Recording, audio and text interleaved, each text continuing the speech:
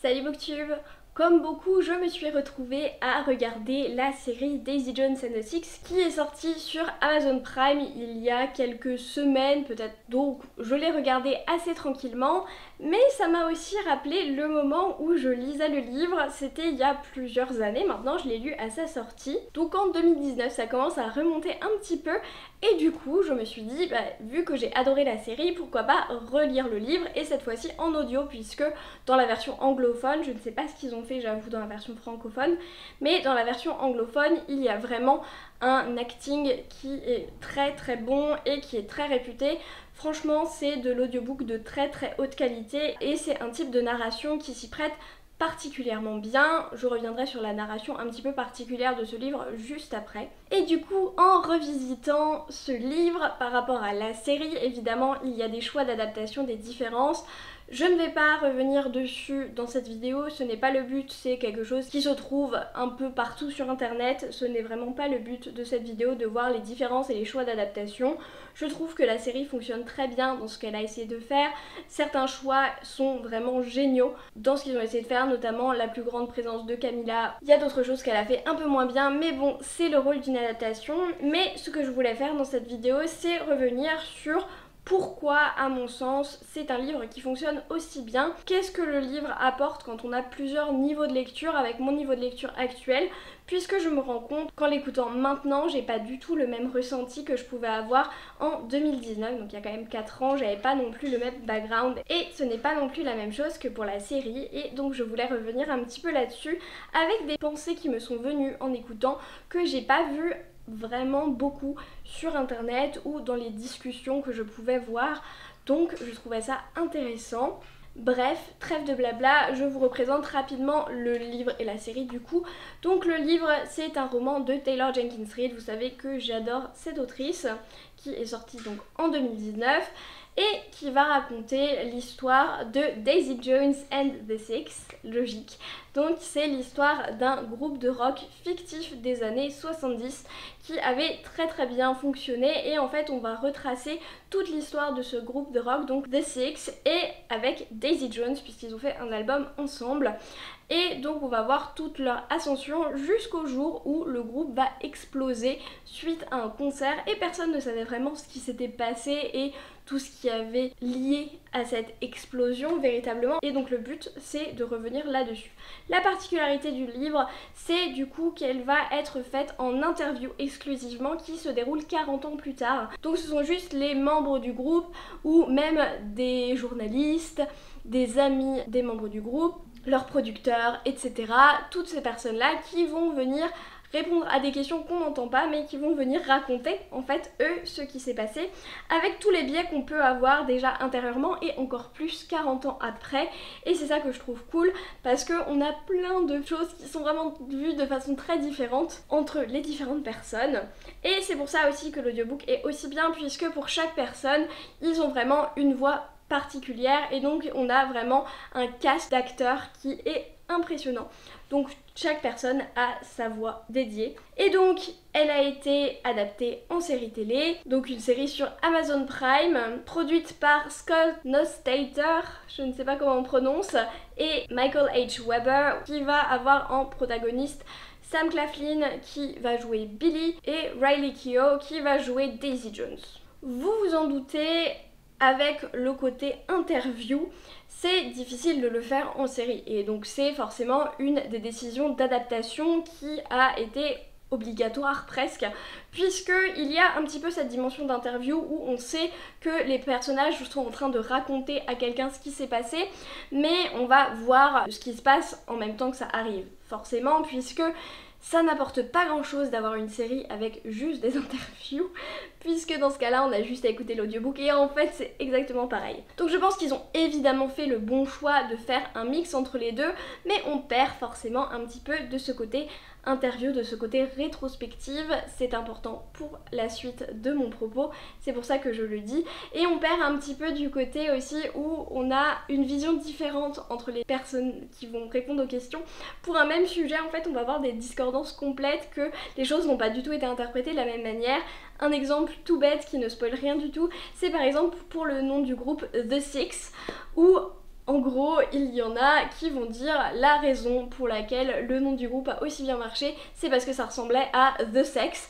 Et il y en a d'autres qui vont dire non, non, mais c'est pas du tout ça. Et après, on a un troisième qui dit si, c'était totalement ça. Voilà. C'est ce genre de petites touches assez drôles et où on voit les différences d'interprétation en fait des personnages et ça je trouve ça hyper sympa mais du coup c'est un petit peu perdu forcément dans la série ce qui est totalement normal et une très bonne décision d'adaptation qui était inévitable je ne peux pas parler de la série sans parler évidemment des musiques parce qu'elles sont absolument incroyables. Avec Emily, on n'arrête pas d'écouter et de se partager les lyrics sur Instagram parce qu'on est en boucle dessus et que les chansons sont vraiment juste géniales. Donc ça, évidemment, encore une fois, c'est aussi un grand apport de l'audiovisuel d'avoir pu mettre ça en avant. En plus, c'est les acteurs eux-mêmes qui ont appris à jouer de leur instrument, appris à chanter, etc. et qui jouent, qui chantent, qui ont enregistré leurs disques et qui jouent, chantent dans les scènes où on les voit en concert, etc.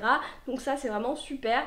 Petite pensée à eux qui ont eu pour le coup la chance d'avoir le Covid, puisque à la base ils devaient apprendre tout en 4 semaines pour devenir des joueurs quasiment pro d'un instrument. Au final ils ont eu 2 ans. Donc c'est plus facile déjà. Mais voilà, une petite pensée pour eux, parce que ça allait être à la base très compliqué. Dans la version papier du livre, on a des lyrics euh, qui sont écrites mais qui ne sont pas retranscrites dans la version audio. Je sais que les lyrics ont beaucoup changé entre le livre et la série. Je ne me rappelle pas des lyrics de base, c'est pas quelque chose qui m'avait parlé plus que ça initialement, donc ce n'est pas quelque chose qui me contrarie plus que ça. Je sais que ça en a contrarié certains. Moi personnellement, ça ne me dérange pas. Et du coup, après ces deux points importants et essentiels, je pense, pour comprendre le livre, pour comprendre d'où ça vient les choix d'adaptation, je veux revenir sur ce qui est pour moi la grande, grande différence entre le livre et la série et qui fait que pour moi, le livre est quand même nettement au-dessus d'un point de vue réflexion, d'un point de vue prise de conscience, d'un point de vue personnage et d'un point de vue niveau de lecture et analyse qu'on peut en faire. C'est un livre et une série qui vont énormément parler de santé mentale puisqu'il y a toute une thématique d'addiction, c'est pas surprenant, hein, on est dans le groupe de rock des années 70. Donc l'alcool, le tabac, la coke, l'héroïne et tout ça, ça y va à gogo. Si c'est des sujets qui vous choquent un petit peu ou vous êtes un petit peu sensible, qui vous touchent personnellement, allez-y mollo, hein, protégez-vous avant tout. Et ça va parler de tout ce qui va mener à ces addictions, à ces difficultés de santé mentale, etc. Ça, c'est vraiment fait de façon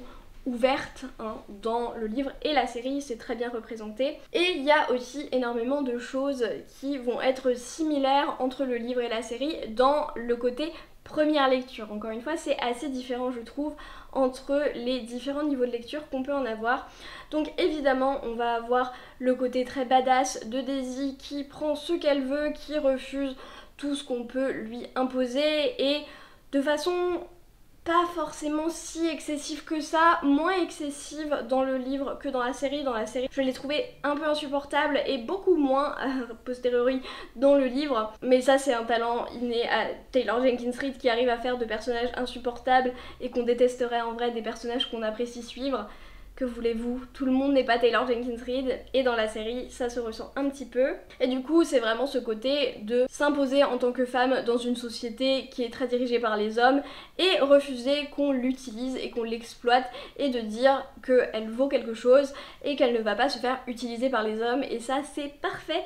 I am not going to sit around sweating my ass off just so men can feel more comfortable. It is not my responsibility to not turn them on. It's their responsibility to not be an asshole. Si on a lu Daisy Jones ou vu la série, on sait qu'il y a aussi beaucoup de réflexions sur l'amour, sur la passion, sur ce qu'on est prêt à faire pour quelqu'un d'autre, pour quelqu'un qu'on aime, etc. Et ça, encore une fois, c'est très bien abordé. C'est quelque chose que la série retranscrit parfaitement, mais c'est aussi un premier niveau de lecture. But loving somebody isn't perfection and good times and laughing and making love. Love is forgiveness and patience and faith, and every once in a while it's a gut punch. Et du coup, on en vient au propos même de cette vidéo, après une introduction bien trop longue, mais bon, j'avais quand même envie de dire à quel point j'aimais ce livre et cette série. Mais à la deuxième écoute donc du livre, j'ai réalisé tout ce qui ne m'avait pas forcément marqué à ce point. Il y a plusieurs facteurs qui font ça, c'est que Déjà, c'est une réécoute, donc forcément je connais l'histoire. En plus, je viens juste de regarder l'adaptation, donc forcément l'histoire ça va. Je peux me projeter un peu plus dans les personnages et surtout c'est les choses que j'ai pu faire que j'ai pu vivre personnellement et psychologiquement depuis je pense que ça fait partie de ces livres que j'ai pas forcément lu au bon moment que j'aurais beaucoup beaucoup plus aimé et que j'aime beaucoup beaucoup plus actuellement ça fait partie vous savez ces livres où on réalise a posteriori qu'en fait on n'était pas assez mature, on n'avait pas vécu assez de choses pour totalement les comprendre. Et ça c'est ce livre-là, je regrette absolument pas de l'avoir lu au moment où je l'ai lu, mais je regrette absolument pas non plus de le relire maintenant. Parce que ce qui m'a marqué c'est le recul. En fait on a donc ces personnages qui vont se faire interviewer, qui vont parler 40 ans plus tard de moments les plus difficiles et les plus poignants de leur vie. Et on a toute cette introspection, tout ce recul, toute cette discussion de comment on a évolué et en fait on apprend à connaître à la fois les Daisy et Billy principalement du passé, mais aussi les Daisy et Billy d'aujourd'hui, de ceux qui parlent et ce qu'ils ont fait entre temps et le travail qu'ils ont fait pour reprendre les mots même de Daisy, after a lot of therapy. Et dans le livre, on voit vraiment la façon dont ils en parlent, la conscience qu'ils ont acquise sur ces moments difficiles de leur vie, le recul qu'ils ont acquis, à quel point ils ont grandi par rapport à ça, à quel point ils sont conscients de leurs difficultés, de leurs problèmes, des choses qui n'allaient pas à ce moment-là. Et on sent vraiment la difficulté que c'est pour eux encore à ce moment-là de reparler de ces moments où ils étaient au plus bas, où ils étaient au plus mal et où ils ont été un connard et une connasse respectivement. Et ils se critiquent beaucoup, il y a beaucoup de remises en question pour certaines choses, il y a beaucoup de fois où ils disent qu'ils n'ont pas fait ce qu'il fallait et on voit tout ce recul qu'ils ont. Et en plus, ce qui est magnifique, c'est qu'on a une acceptation. On a une acceptation de qui on était à l'époque. C'est-à-dire que Surtout pour Billy, j'ai trouvé que c'était magnifique parce que on a vraiment ce recul qui dit j'ai été un connard, mais je l'accepte et à l'époque, je ne voyais pas comment je pouvais faire autrement. Ça n'excuse pas tout ce que j'ai fait, ça n'excuse pas les choses mauvaises que j'ai pu faire, que j'ai pu dire, mes actes, mais je me pardonne parce qu'à l'époque, je savais pas comment faire autrement. Maintenant, j'ai grandi, j'ai eu l'aide dont j'avais besoin et maintenant, je ne referai pas pareil et je le sais. Et c'est repasser dans ces moments où on est si au fond du gouffre, si mal, et qu'on est mauvais avec tout le monde, et c'est retourner en arrière et se rendre compte des actions qu'on a eues avec les autres, parce qu'on le voit pas à ces moments-là, c'est pas des choses qu'on réalise forcément, puisqu'on est tellement mal, on est tellement dans notre propre douleur, souffrance, addiction, euh, alcool, drogue, etc. pour eux. Ils étaient tellement là-dedans, tellement emprisonnés là-dedans qu'ils réalisaient pas forcément les choses mal qu'ils avaient fait. I don't like putting it that way. You're never not yourself. You're always you. It's just sometimes who you are, who you are is a shitty person. Et c'est ça qui me marque toujours avec l'autrice, c'est qu'on a un réalisme tel dans le traitement des personnages et là dans le traitement de leur évolution parce que encore une fois je vous dis on arrive à apprendre à connaître les deux facettes alors que on n'a jamais leur histoire après la fin du groupe qui est racontée.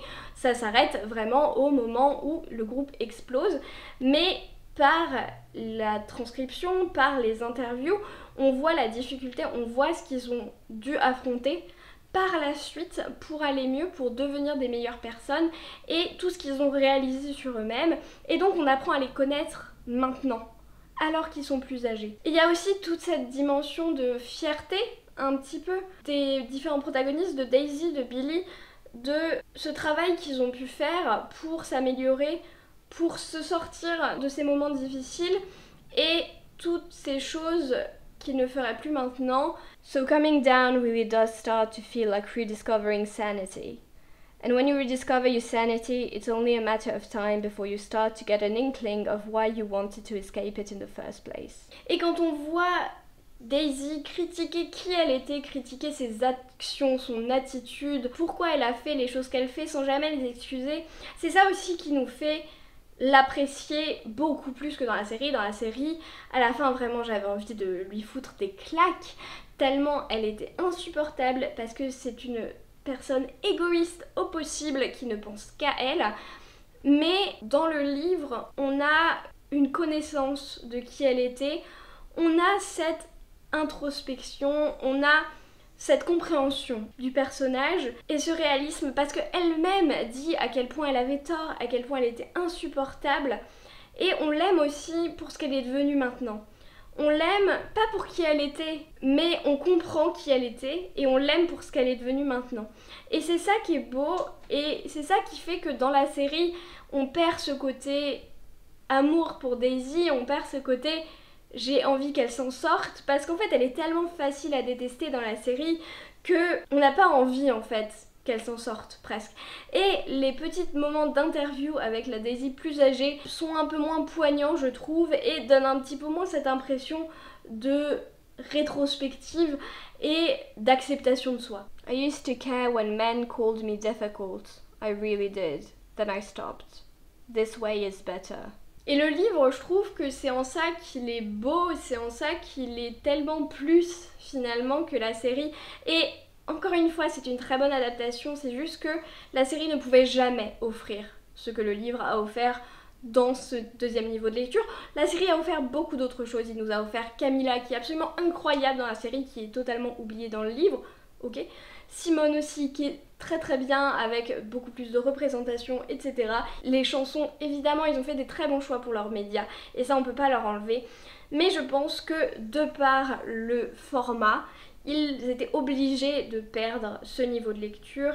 Et cette leçon en fait, parce que pour moi le livre c'est une leçon de santé mentale et de comment on fait pour aller mieux en fait. Le film montre la santé mentale, montre les moments où ça va pas, les moments d'addiction, alors que le livre, c'est montrer que ça peut aller mieux, que peu importe à quel point on est mal à un moment, on peut aller mieux, on peut se sortir de là, et que c'est possible, et qu'on peut être réaliste, et qu'on peut faire face à ce qu'on a fait, et qu'on peut faire face à ces moments, et être en rétrospective sur ces moments difficiles qu'on a vécus. No amount of advice or lectures or trying to chain somebody down ever stopped anyone who didn't want to stop in the first place. Donc voilà, je pense aussi que cette réaction de ma part est une réaction très personnelle, très brute, très interne, très liée à ce que j'ai pu vivre aussi. Mais c'était important pour moi d'en parler parce que je trouve que c'est une qualité qu'on voit rarement. Dans les livres, on nous montre beaucoup les moments difficiles, comme c'est le cas dans ce livre, mais rarement la pente ascendante et une fois qu'en tout cas qu'on est remonté. Et c'est ça que j'ai trouvé vraiment vraiment bien et c'est pour ça en fait que ce livre me marque maintenant. C'est pas tant pour tout ce qu'il va dire sur le rock, c'est pas tant pour ses personnages en soi, c'est pas tant pour les paroles des chansons, c'est pas tant pour les réflexions de féminisme, etc. Parce que ça, j'en suis un peu revenue, j'ai conscience de tout ça maintenant. Je l'avais aussi un petit peu à l'époque, mais peut-être pas autant il y a 4 ans. Mais c'est vraiment ça qui me bluffe actuellement et je trouve que personne n'en a vraiment parlé et c'est pour ça que je voulais en parler aujourd'hui. J'espère que ça vous a intéressé quand même, j'espère que ça vous a plu. Si vous l'avez lu, dites-moi si vous avez ressenti ça, si vous avez d'autres choses à apporter, à ajouter à la discussion sur le livre. Si vous avez vu la série, n'hésitez pas aussi à me dire si vous avez lu le livre, ce que vous en avez pensé, etc. Qu'on discute un petit peu dans les commentaires, ça me fait toujours extrêmement plaisir. Et du coup, je vais aller retourner mettre la playlist de Daisy Jones parce que c'est la meilleure chose actuellement. Mais en attendant, on arrête tous de procrastiner, on va prendre un livre et moi je vous dis à la prochaine.